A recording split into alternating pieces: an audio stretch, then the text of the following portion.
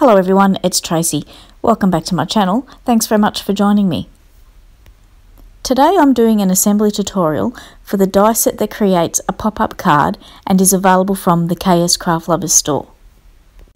This die set has been designed by Nicole Silhouette here on YouTube and I shall link her YouTube channel in the description box below as well as the link to the KS Craft Lovers store as to where you can buy this die set.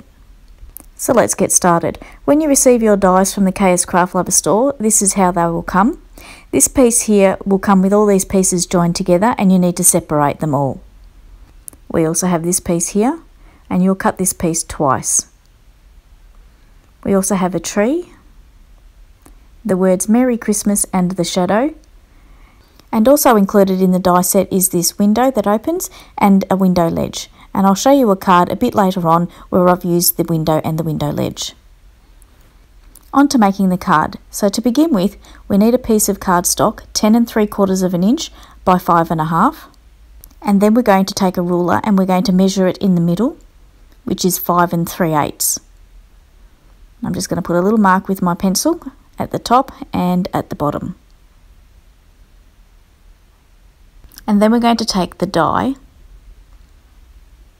that looks like this. And it has those two end pieces that hang over the edge. And we're going to position those over those pencil marks. And I'm going to tape it into place. And I like to have that solid part of the die on my right hand side. And then I'm going to get this piece. And I'm going to position it centrally in that open area so that there's a nice even border around. And I'm going to tape that into place as well. Then I'm going to run this through my die cutting machine. And you can see that that rectangle leaves a hole and the other larger die leaves the cut and score marks to fold. And you just need to very gently fold. The first one's a valley, the next fold's a mountain fold, and you need to take care that you're not inadvertently making additional folds where there's not meant to be any. That last one's a valley and those two smaller areas are a valley fold as well. Now on the top there, you'll see that the die leaves a couple of marks on the top part of the cardstock there. They're a little bit hard to see, so I'm going to turn it over to the back, which you can see them a little bit better there. And I'm also going to take a pencil and go over them so that they're easier to see because we're going to use these marks a bit later on to line up. So I'm just making them a little bit more visible. Turn it back over. And now I'm going to just work the folds and push the pop-up down so that it knows which direction it has to go. And that's working the pop-up in the direction it's meant to go. So now we're going to take this die and we're going to cut it twice. So we get two pieces and you'll see that there's a score line on the top and the bottom so I'm going to fold along those score lines and this creates tabs. So I'll do that to both pieces. Then I'm going to put double-sided tape along those tabs, which I've gone ahead and done. Then we get to this piece here that's in the die set and what that does it creates decorator panels to go on the front of those two pieces. So I've gone ahead and cut three of those. Two I'm going to put on these pieces and the third one I'm going to put on the front of the pop-up like so. So I'm going to go ahead and glue all those into place and now it's time to put those pieces on the right there inside the pop-up and this is where we're going to use those marks on the back to line up with. So I'm going to take one of these pieces with the tabs and you're going to make sure the decorator panel is facing that opening. I'm going to remove the release paper from the adhesive.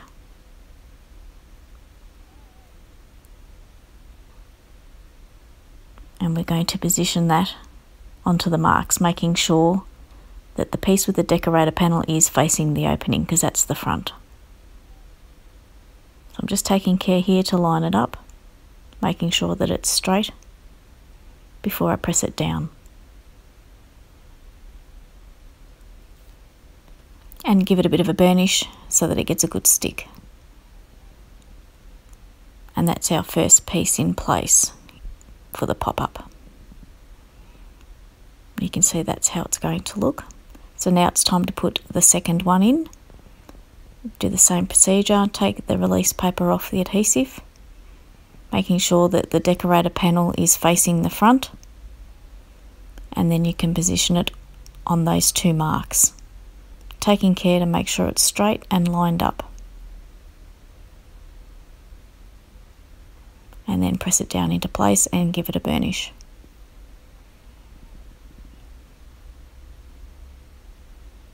And you can see now how this is all going to come together.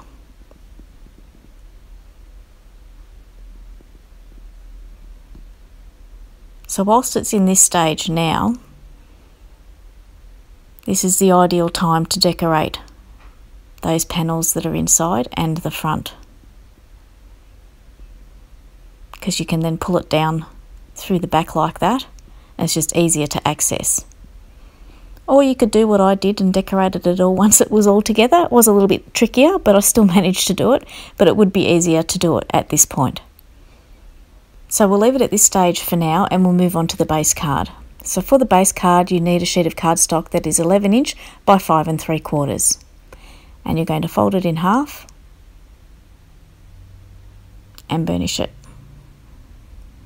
So you've got a nice crisp fold and we're going to bring in that piece and you can see that it will have a nice border around the edge. So I'm going to open that card up and I'll get my pop-up piece and I'm going to fold it down so that the adhesive from the bottom of those two panels is facing up. And then I'm going to get glue and I'm going to turn it over and I'm going to put glue not all the way to the edge of where it's going to meet the score line. And I'll explain why in a minute. Just getting glue all over, get good courage. And we're going to line that up against the centre score line of the base card and press it into place. If you go all the way to the edge of those two narrow end pieces with adhesive, it tends to bunch up when you're folding it. So if there's no glue there, then it's not getting caught and it's got a little bit of freedom to move makes opening and closing the card a lot easier. So what I'm doing now is I'm just lifting that top panel away so I can get to the bottom one to remove the release paper from the tape because it's easier to access this now than doing it the other way around and just pressing that into place and then I'll put that one back down take the release paper off and press that tab into place holding it all firmly in place whilst you're doing this and then you can lift it up and test it to make sure that it's adhered down properly. And that's how it's going to look. Now it's time to finish adhering the other side to the base card. I'm just applying glue. And I did find that using glue for this step was a lot easier than using double-sided tape because it gave me some wriggle room to get things straight. Just getting glue all over, taking care not to get right up to the edge, and then I'm going to close the base card down onto it pressing down firmly. Then you can open it up to check to make sure the adhesion is good and press it down with your bone folder so you get a good stick. And that's your pop-up done. I'm just testing it to make sure that's opening and closing without any bunching in that center fold there and it's not so that's good. And it was whilst I was doing this that I realised you could actually do it in this portrait orientation as well. So that's an idea for anybody out there that'd like to try that. That would look lovely as well. So I have here a couple of sample cards that I've made earlier. And this one has the window with the window ledge. And when I saw that window die, it immediately made me think of those kitchen garden windows that some people have in their kitchens.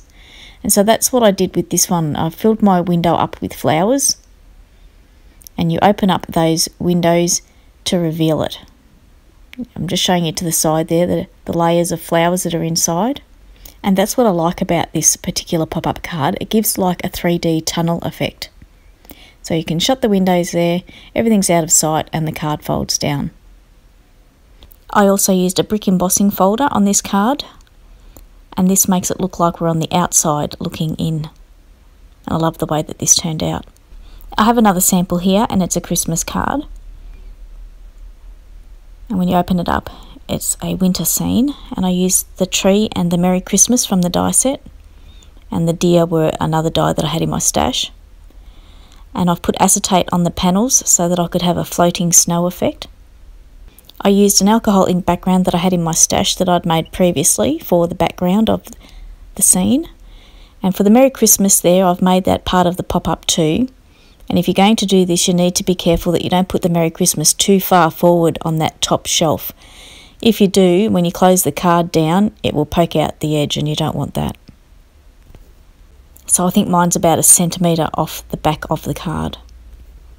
So that's my tutorial finished for today. I hope you found it helpful and that you feel inspired to make one of these pop-up cards yourself. They're not that terribly hard to make and you could really decorate them in any style that you like. Don't forget to check the description box down below for the links to the KS Craft Lover store to where you can buy this die set. If you'd like to subscribe to my YouTube channel, I would really love that too. Thanks very much for watching today. Have a great day and until next time, it's bye for now.